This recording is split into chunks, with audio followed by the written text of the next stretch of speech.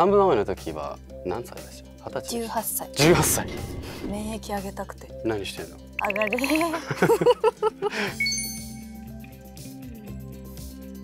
オファー受けた時の感想を？擬音もしくはあの短めの言葉で。赤血球？です。はすごい普通な感じなんですけいいどやいやいや。いやあの赤血球役のお話があってっていうことを聞いたので赤血赤血球ってこと？私がっていうびっくり。驚きが一番最初は強かったですね。意味は最初はあんまりわからなかったですね。俺どうだったっけな。一言か擬一音ですよ。言か擬音で。ビビビ。ビビビ？はい。これはもうあのまさにビビビッとこうきました。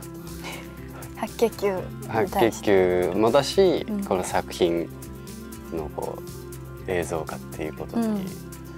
これはもう本当にもう待ってましたというかうん。漫画を読めば読むほどこの役は自分がやりたいなっていうふうに思いました。うん。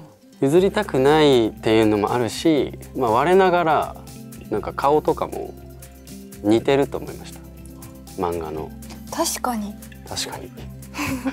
確かにあの目の印象強いですもんね。そうかもしれないまあ他が真っ白っていうのもありますけど。そうそうそうそうそう。確かにまあでもやっぱ漫画とアニメがあるので結構明確にイメージはあのもうあるじゃないですか。だからそそれにこう自分がどう近づけていけるかっていうのは一つ大きな道しるべでしたね。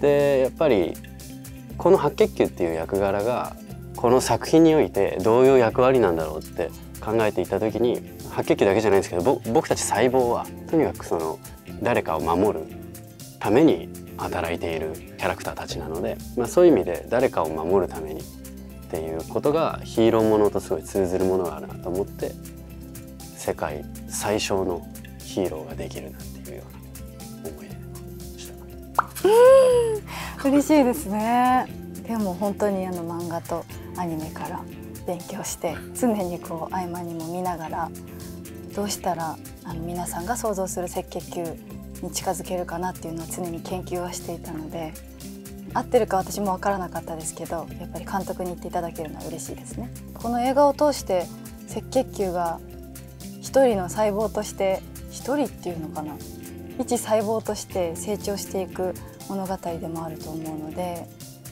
なんかこうそういう意味では細胞ではないけど感覚的には人間が成長していくならこういう感じなのかなっていうのでやってました。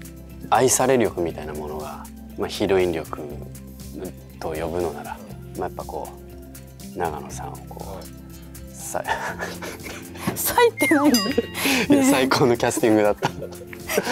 本当に思ってる。なんで笑ってんですか、いやいやもう本当に。集大成でしたよね。はい。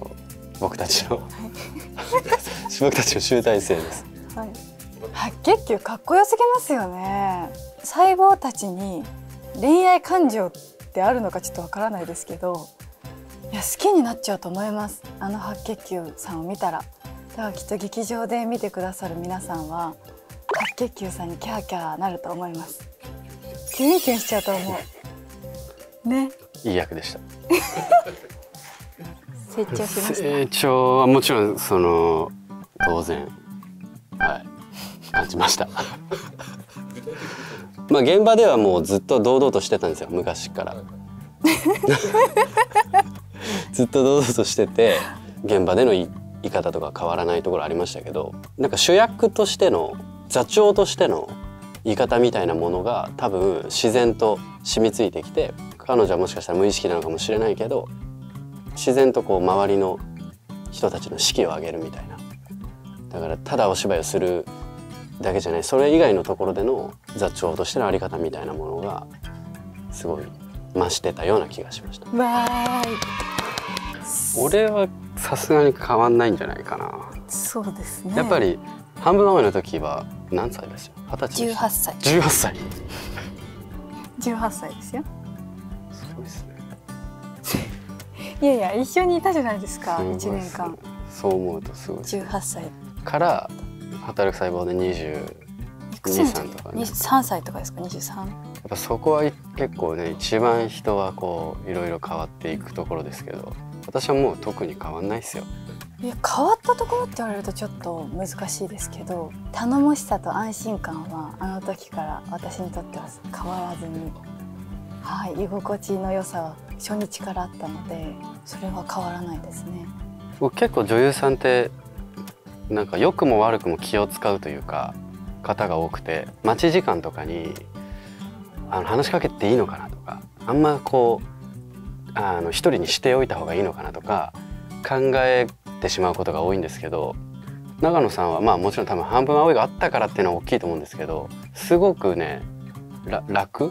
芝居してる時も待ち時間もフラットに入れたのでそこは非常に私はやりやすかったしなんか癒されてました。嬉しい。嬉しい？私今すごい考えてたんですけど、うん。二人の関係性を表す出来事があって とか言ってすごい大きな大きなこと言ってる。俺も今一番聞きたい。えそうですよね。ちょっとそんな大きいことじゃないんですけどえ聞きたい。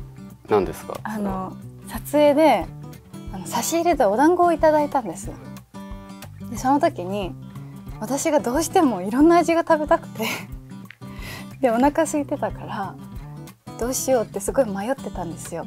でじゃあ待機部屋に持ってってたけるさんが食べないって言ったやつを食べようと思ったんです。で持ってったらたけるさんが「あじゃあメイが食べたいものを食べていいから残ったら俺が食べるよ」って言ってくれて全部半分こしてもらいました。全部一個ずつ食べてそう全部一個ずつ半分こしてくれて優しいっていうのと。ただね、うん俺も全部食べたかったのよ。嘘？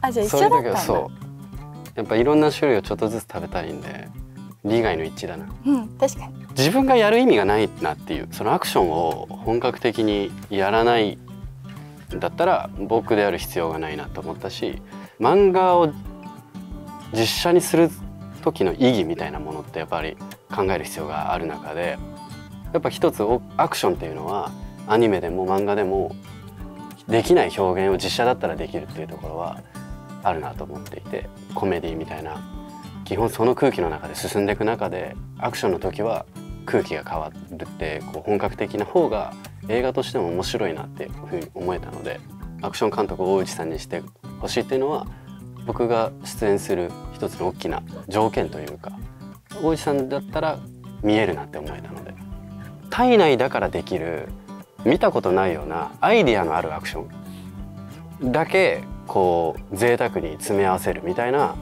アクションシーンにしたくてそういう意味で大内さんって本当にこうワイヤーの使い方とかそういうアイディアがすごく豊富な方なんでそこを僕はすごい信頼していてそういうアクションをたくさん入れたいんだって思いを伝えさせてもらってやっていきました。いやあのすごいアクション部さんたちとの素晴らしいチームワークであのここもうちょっとこうした方がそのカメラを通して見た時にあのかっこよくというか素敵に見えるんじゃないかっていうのをその場で結構やられてる瞬間もあってすごかったですね圧倒されました。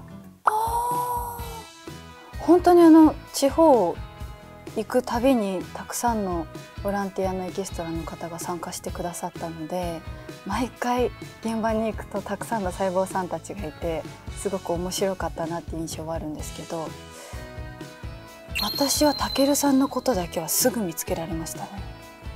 白血球さんビジュアルが一緒ですもんね白血球は本当に赤血球よりもビビジュアルが一緒なんですけど、うん。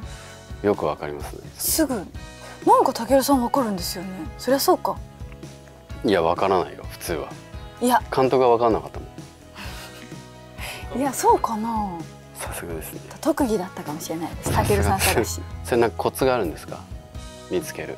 いやもうなんとなくあたけるさんだって思うだけなんですけど見分けるとしたら歩き方と姿勢ですね。全然違いました他の人と。シンプルに体調不良が多くないですか？季節の顔によって。気にしてます。免疫上げたくて。何してんの？上がれ。自己暗示上がれ上がれってやって。大事ですね。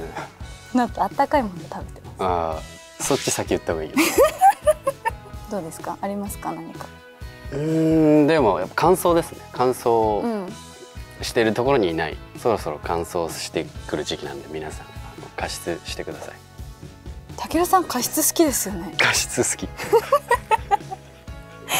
か加湿の印象あります。好きなのよ何加湿好きって？あのその好きとかじゃなくてその体調管理というか、まあ、皆さんのも含めの体調管理っていうことで確かに。とにかく現場ってすごい乾燥するんで、うん。そう加湿器を設置したりなどしてましうん、すごい加湿好きなた。印象。好きって。好きだけど、そう大事ですからね。そうそうそう。映画働く細胞。ぜひ。ご覧ください